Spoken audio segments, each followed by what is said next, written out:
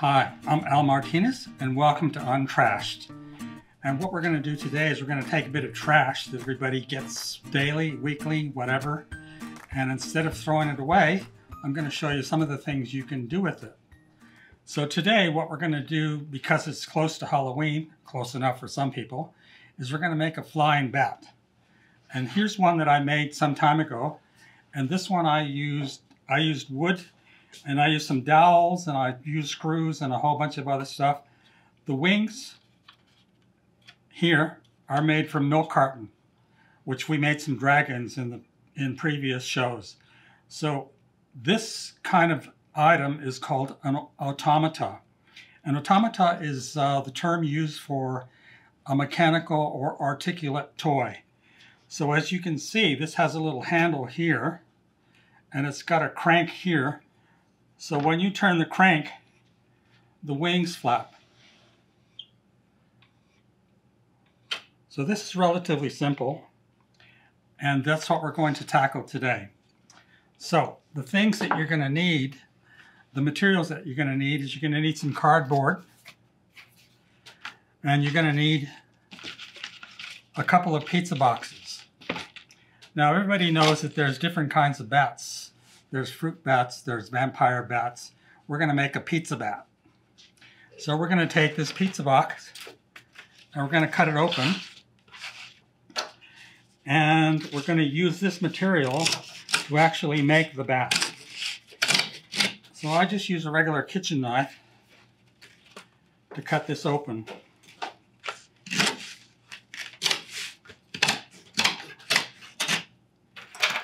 And I like these, um, I like these pizza boxes because this card is pretty good for making templates or making things like bats.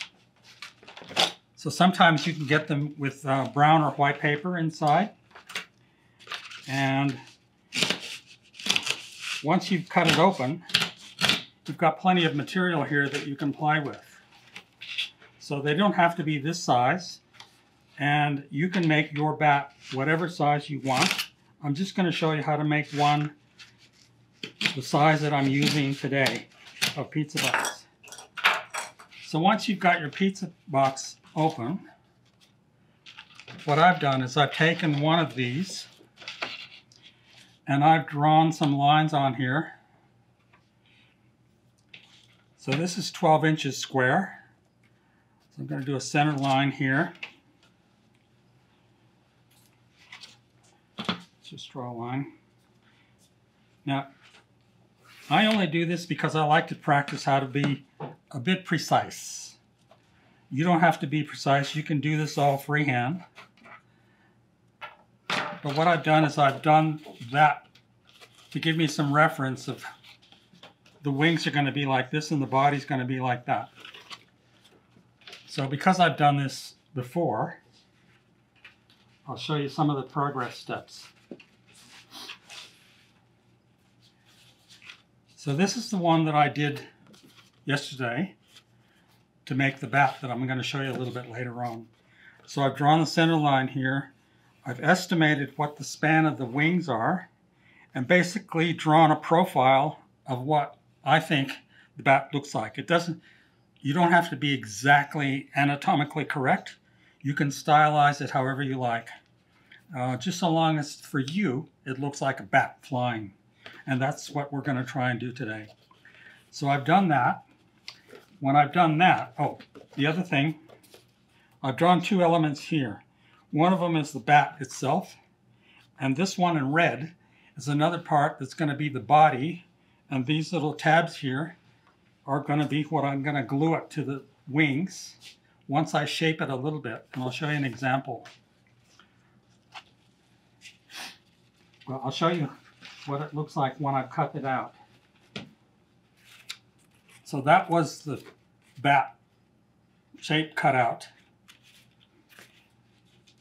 This one is the tab. So you can see it's got the head, the body, and these little tabs are what I glued to the underside of the bat wings. And that looks like this. So there's my pizza bat. If you look on the underside here, you can see that folded up pizza pizza carton and the little tabs glued to the underside of the wings. The other thing I've done is with a pen, I've marked this really heavily and I folded that. So the wings actually have, they have a shape rather than just flopping on a natural curve. And that's just sort of a stylized thing that I like. You can do whatever you like. But anyway, so I've made this part. I've taken some cardboard and I've glued to the to the underside of the bat and that's going to get glued on top of the frame that we're going to make. And I'm going to show you how to do that next. So the material that I've used, I found this, I found this cardboard box that had a barbecue shipped in it. So it's a big box. And the thing that I liked about it was the fact that the cardboard was exceptionally thick. Because what I was going to do is I was going to recommend that we cut two layers of that size and hot glue them together to make it stiff. So you're going to need one, two pieces that are six inches wide, and this is just 11 inches long, which is the size of that part of the cardboard box. So that's going to be the base. You're going to need four sections like this that are six by six with a hole in the center that's three by three. And that hole is what's going to allow this section here to actually move within the frame. And I'll show you the importance of that a little bit later. So once you've got four of these cut and you hot glue them together, then you cut the hole and you start putting the parts together. So the other thing you're going to need is you're going to need two of these.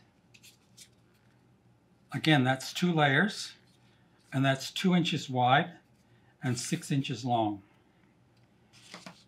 So that is going to be part like this, which I'll show you in a minute. So the next thing we're going to need is we're going to need some wire. And I use I use this wire that I bought at the hardware store and in terms of the only things that you need to purchase today is the wire. And I think you can get a roll of this for like $6. And you can use it for a lot of things. I use it for all sorts of things. It's just regular steel wire. And um, I'll show you how we use this next. So the next thing I did is I drew a side picture of the inside of that frame. So that frame is going to look like this, and that's just a picture. And the reason I drew this picture is that this part, this heavy black line here, is going to be the crank shaft. So that's the part that actually does the turning, and we'll bend, we'll bend this long part down to make a handle later, which I'll show you. So what I did is I took this drawing, and I took my wire, and I measured from from the very end here to the end here is 14 inches. So I'm going to cut one piece 14 inches long.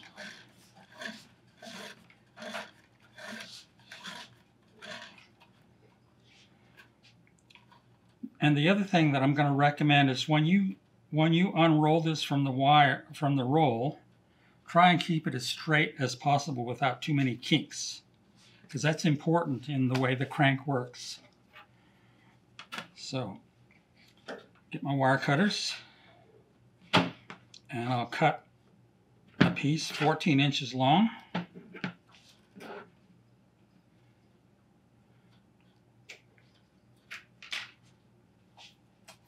So these, these pliers are called needle nose pliers, and they have a point for doing pointy things and they have wire cutting capacity here. So this is really handy to have. So the other thing we're going to need is we're going to need two parts of the crank arms, which is this part that goes from the crank up to the wings. Now, those are approximately seven inches. That one's a little bit different than the one we're going to make.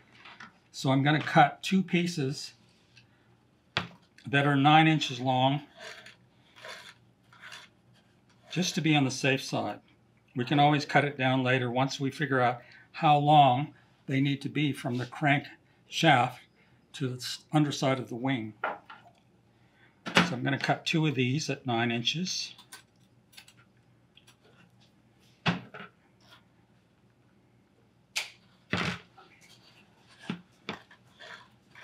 One little piece of wire cut. Two little pieces of wires cut. Ah, ah, ah. Everybody knows who that is. Okay, so these parts you want to try and straighten as much as possible. They don't have to be perfect, but just so that they're relatively straight. Because these are the parts that push the wings up when you do the crank.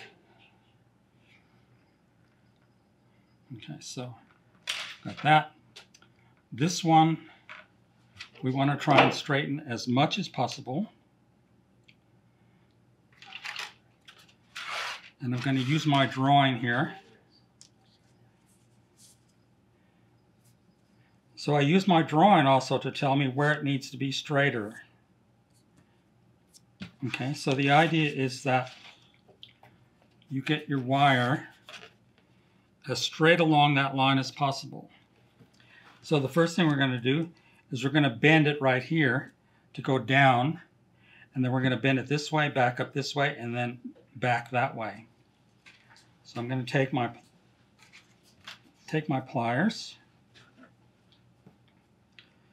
I'm going to grab it right here.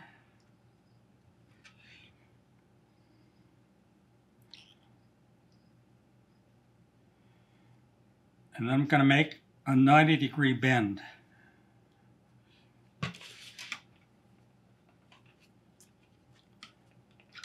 Okay, so this, this first bend is pretty easy because you can only bend it 90 degrees to the wire. The next bend is going to be a little bit more critical. So I'll put that on my drawing.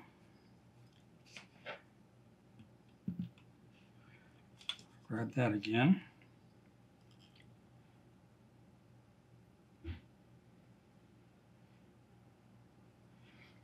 Now, when I bend this, is if I look straight down this wire,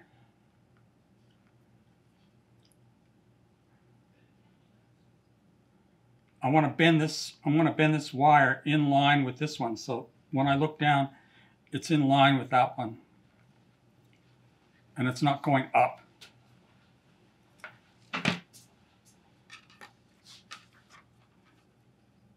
So that's the first bend. Second one's going to be here.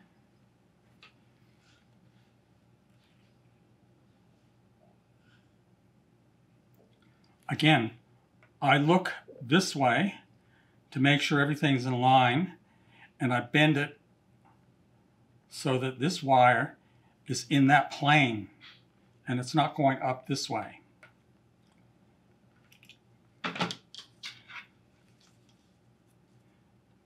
So that's the second bend. Now the other thing that is important is that this ends up in line with that. How deep this is, you can vary whether you want your wings to do a little bit of flapping or you want them to do big flaps, okay?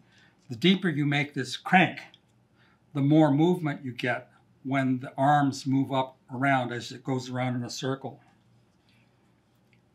So this one's a little bit less than the drawing, but that doesn't matter. So I'm going to do this next bend here.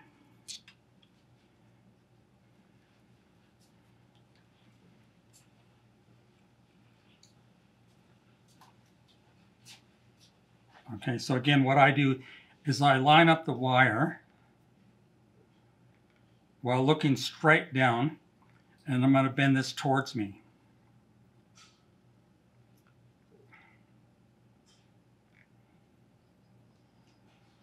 So if, I look that way, the wire is pretty much in a straight line. It's not going like this down or like this up.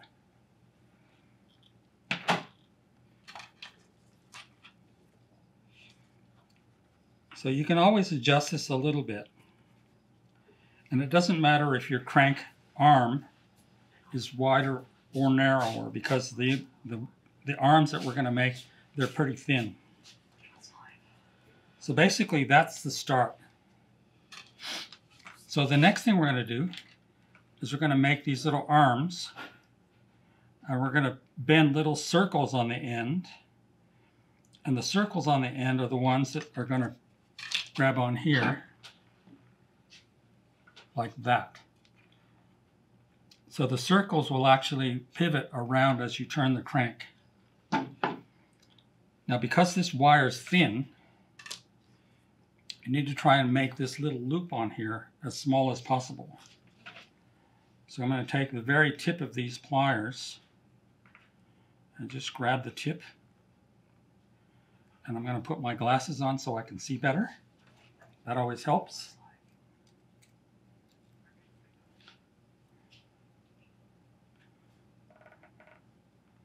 So then I just bend that. And here's a little trick I learned because my hands are not as strong as they used to be. So I take this and I just roll it on the table like this.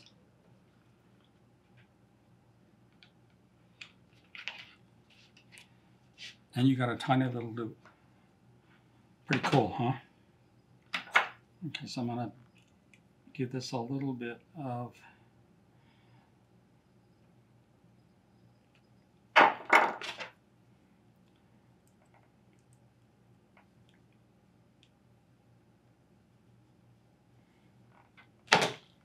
So that's what you're trying to do.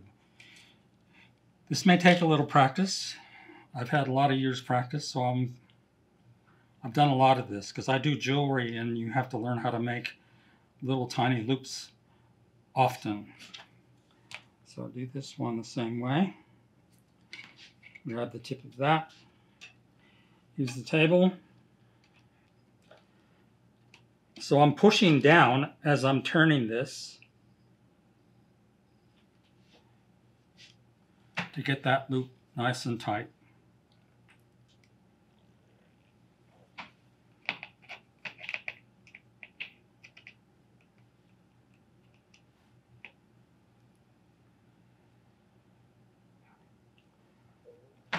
Okay. So we have those crank arms. We have the crankshaft. So now we can start putting this together.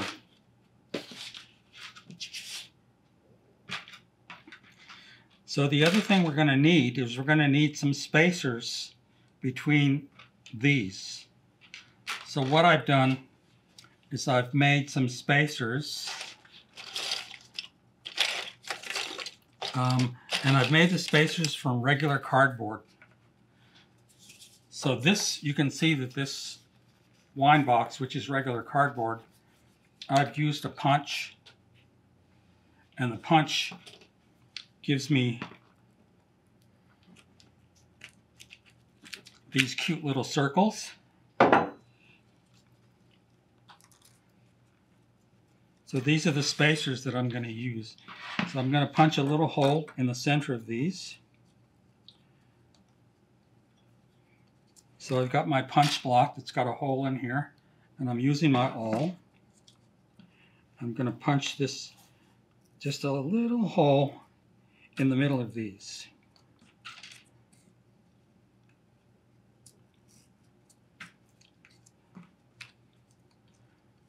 So you need you need roughly four of them, but it also depends on how wide this is, whether you need four or more. So this is what you do. Take a washer, put the washer on the shaft, you feed it through. Then you take one of the arms, feed it through. We're going to put two washers between the arms.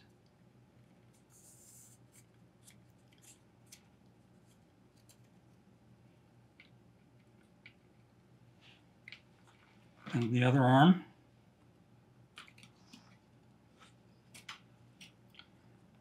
And then one more washer on the outside.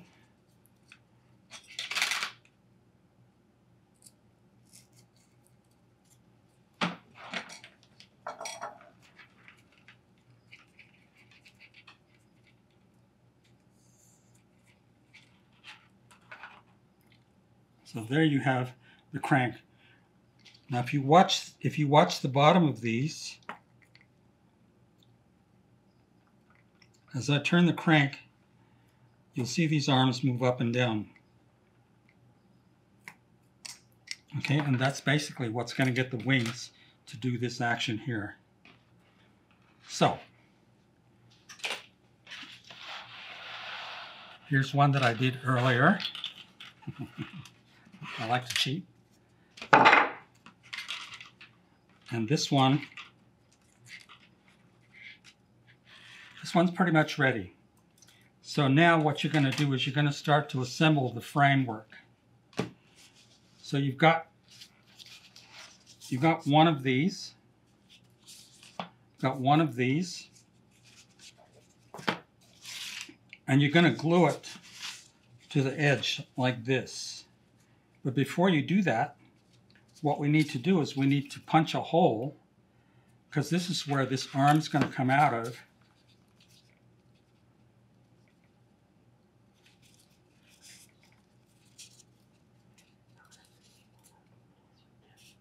To turn into the crank. So I'll show you how that works.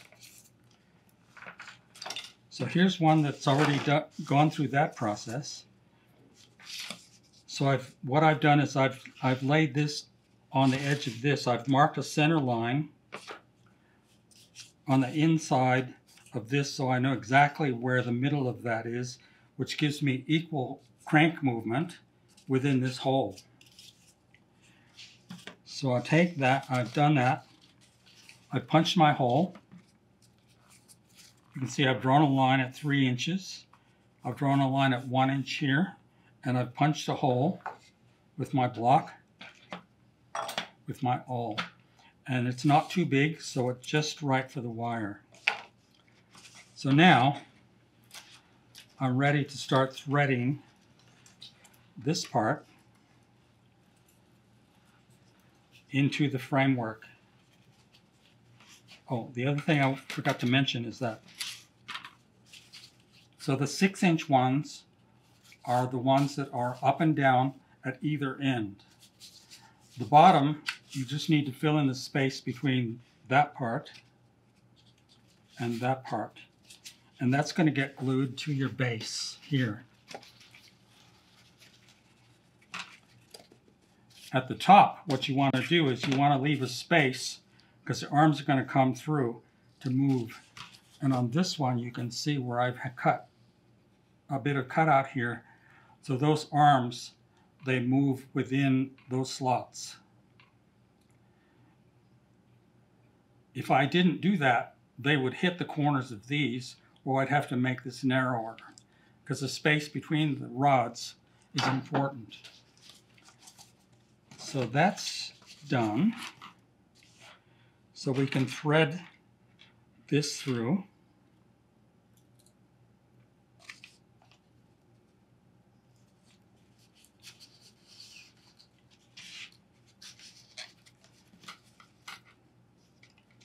thread this through like that. And then we're ready to glue this part on. This is, and this is the one that's already got the hole in the right position. If for some reason you aren't very accurate, at least mark which way is up and down. So one hole isn't here and the other one's down there. Otherwise your crank's not going to move smoothly. I know that because I've done that a lot. okay, and, and again, this is something that you learn from having results that don't work. So I'm going to hot glue this in place.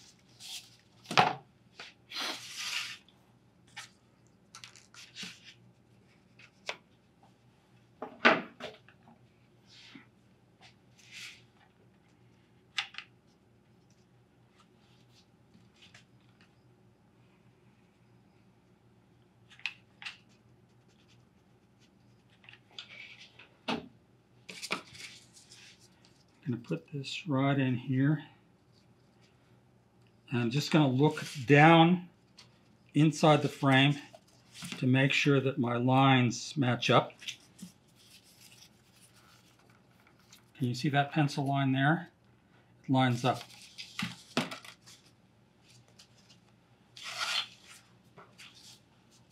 So now I can take the end of the crank here and push it through that hole.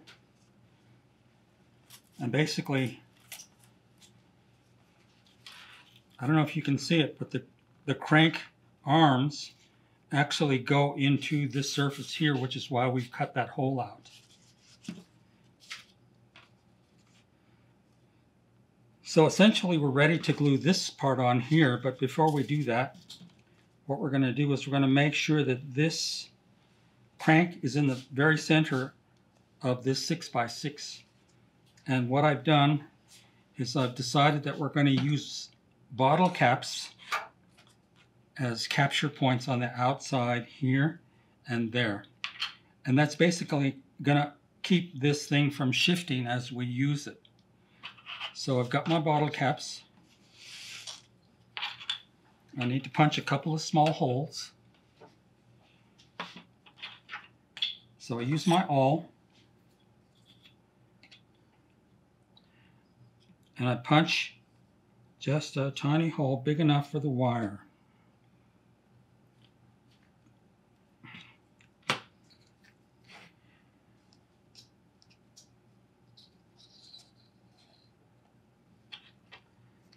Okay, so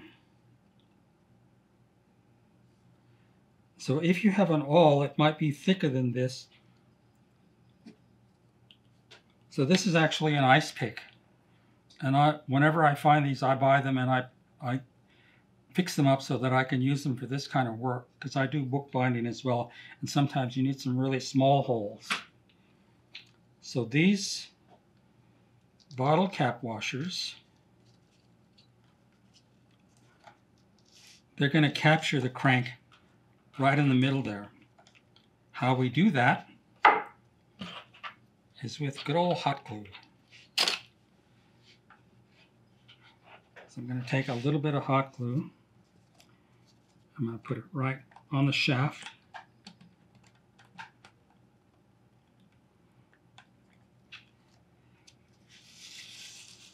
And the bottle cap.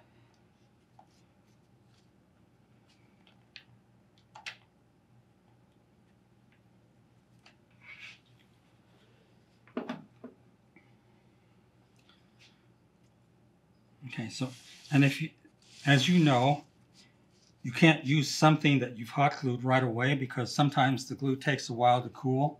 And if you don't let it cool and you start using it, you can move it out of position. So I'm going to just leave that set and cool. And I'm going to glue this other part here to enclose this box.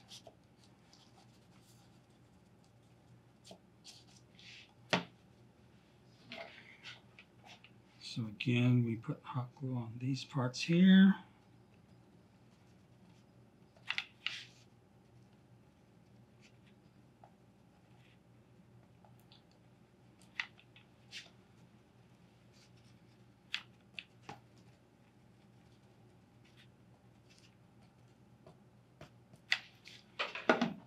And we put this, and the only line, the only place that's kind of critical is the bottom.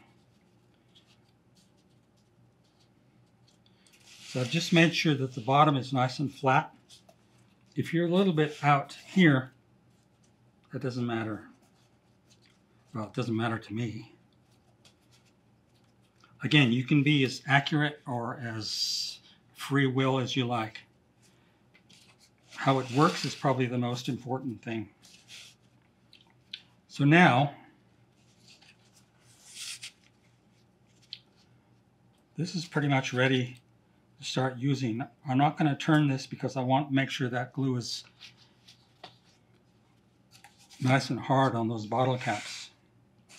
So the next thing I'm going to do is I'm going to glue this down to the base. And I'm just going to eyeball where I think the middle is and just draw some pencil line here.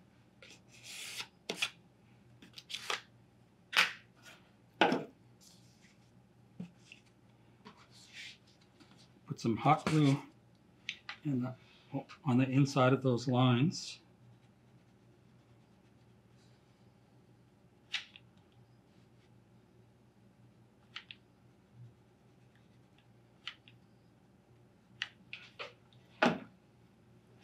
and glue the frame down to the base.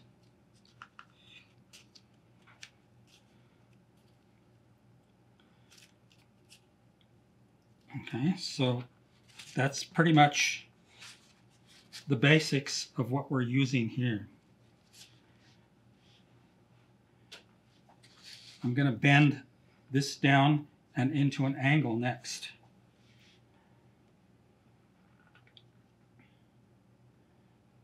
Um, so because this looks so long that it's going to hit that, I'm going to cut it a bit shorter.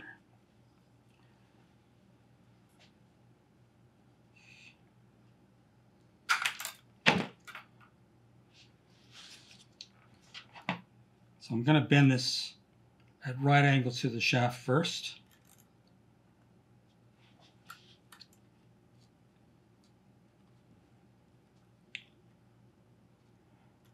And I'm going to bend this down.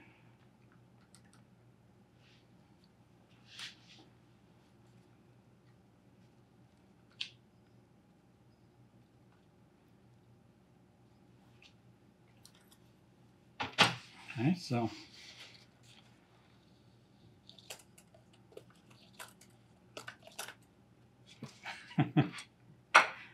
I always have to giggle because when it works, I always say, oh, cool, that worked. so now what we're going to do is we're going to we're going to glue the bat onto the frame. Okay, this is so this is ready to go. So the first thing I'm going to do is I'm going to bend I'm going to bend these out a little bit. And when you do that, make sure that the crank is at the bottom of its movement.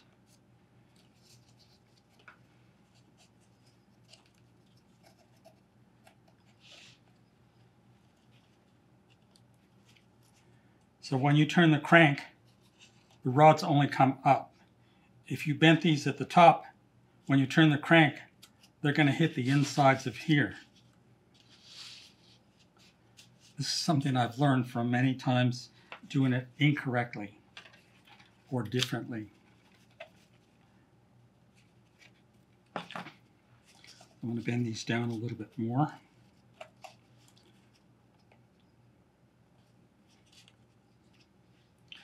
So this is something that's kind of difficult to calculate unless you're an aeronautical engineer, which I'm not. I'm more of a puppet and toy maker. So again, I'm going to mark where this is. So I can hot, put hot glue down and then sort of push it in place.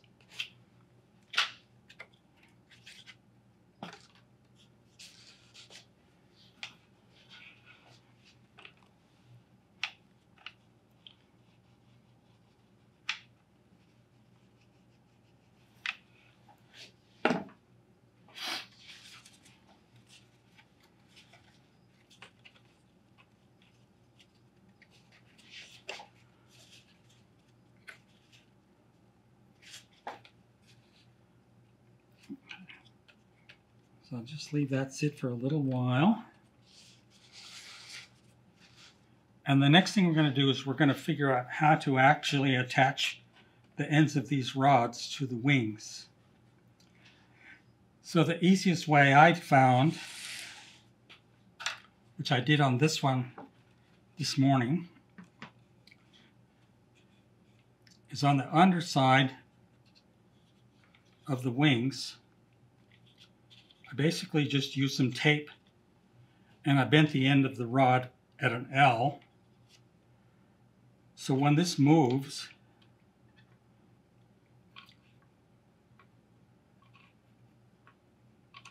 the rods, they don't move any other way other than perpendicular to the movement of the wings, if that makes sense. So on this one, what we're going to do is we're going to bend the arms. Can you see how the rods make contact? So what we're going to do is we're going to bend this end of this rod that way. So I'm carefully going to set this down. Take my needle nose pliers.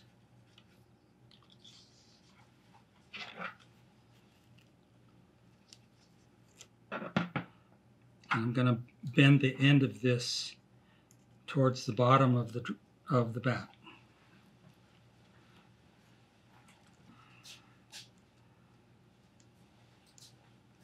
Like that. So when it makes contact with the wing, I'm just going to put a piece of tape over the over this little part here.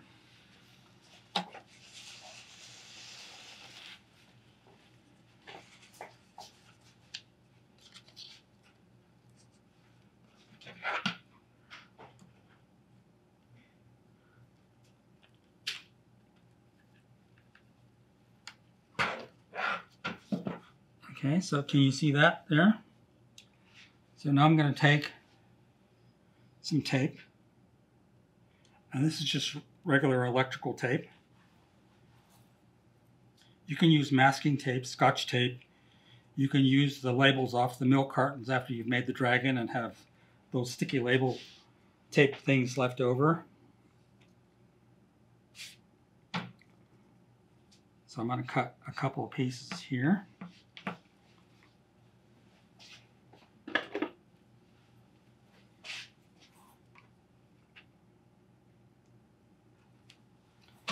And I'm going to just capture the end of that rod with this tape.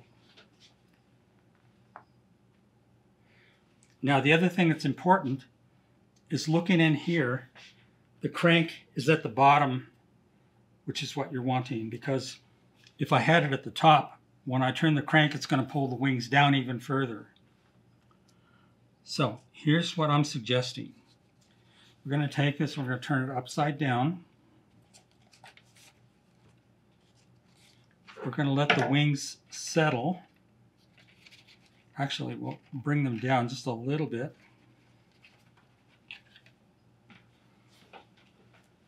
And then I'm going to put this piece of tape over that loop on the underside here. This is going to be kind of hard to see unless we all stand on our heads.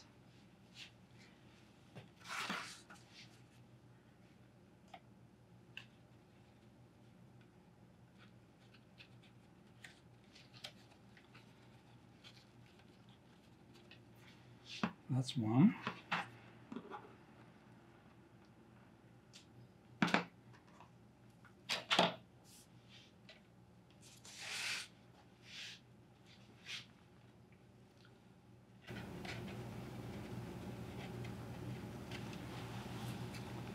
This is a trick I learned when I'm working on cars. You do everything by totally feel. So I can feel where that wire is with my finger. And having to look too much, capture that wire on the underside of the wings. So now we're ready for a test flight. So here we go. Aha. The, the, the rods are too long because I can't lift this wing high enough to get all the way around the top. So here's what we do. We're going to pull this off.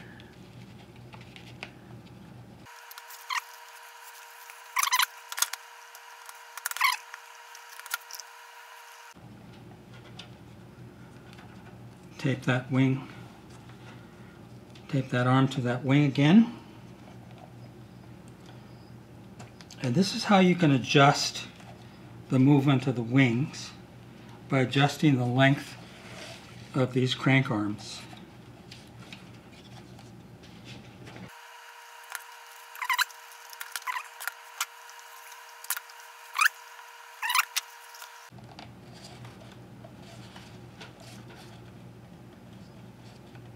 Still a bit too long.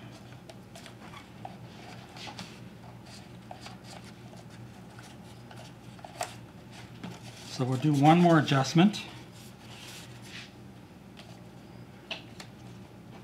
And you'll know what to do whether it works or not.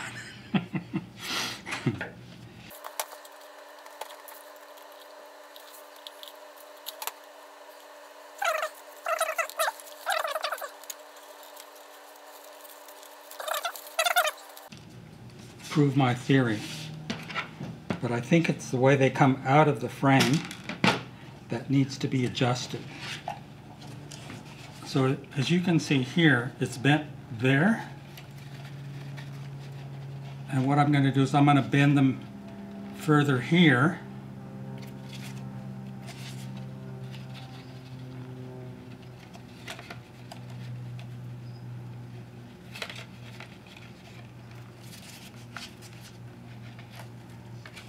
So I can actually get the crank to go all the way around.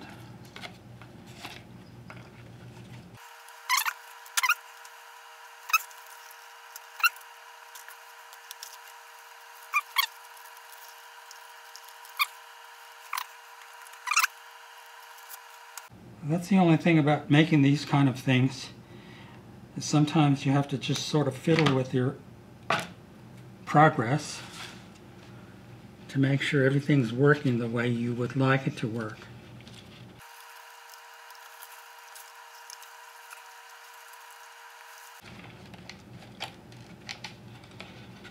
Yes, this is something that I might have to pull apart or just straighten the wires out and reattach them. But anyway, um, think rather than you watching me just sort of fiddle around here, you get the idea of how this works.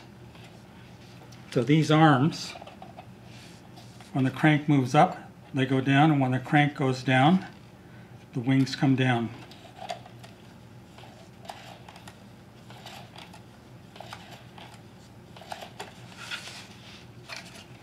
Sort of like that. So that's basically as far as I'm going to take you today. And in terms of decorating this, you can cover it or paint it. Um, you can make the base a little bit more fancy. Um, anything you like. So, yeah, just have fun with it. And something, and the more you do things like this, the more you think about how you use the materials for something that is quite fun. Okay, thanks for watching. And remember, every little bit of untrashed helps.